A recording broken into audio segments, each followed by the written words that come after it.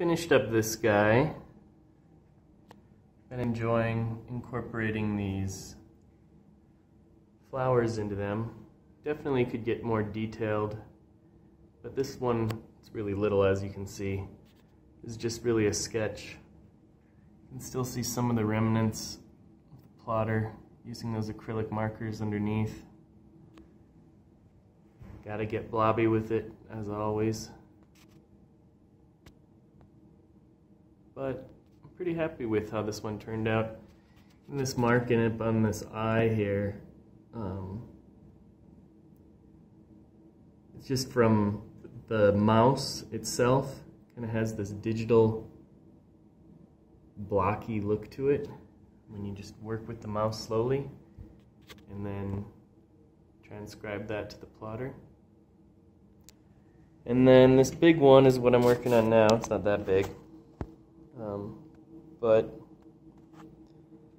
just getting more decisive with my blobs. So these kind of marked, I don't know, this looks almost looks like a piece of bacon kind of falling down this area here, embracing pattern more, just embracing these flowers, since flowers are kind of explosive by their very own nature. So I started thinking about what, you know, a still life would look like for me. And by doing so, I came up with these more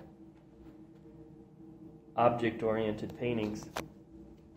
These things down here, those are Inca's drawings. And then put through the plotter and then I'm painting them.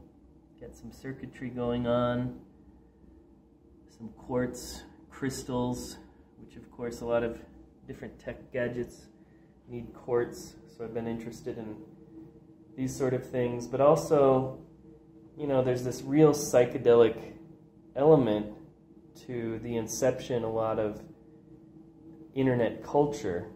A lot of it was, you know, it was based out of Berkeley, California, a real hippie hub in the world, and of course, people like Steve Jobs crediting LSD with helping him discover a lot of different technology and different ideas.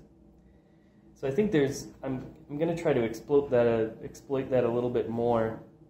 It doesn't necessarily have to be about drugs, but drugs do alter your perception and the internet is such a strange thing because it is psychedelic in a way. So I think there's some connections there that can be exploited more.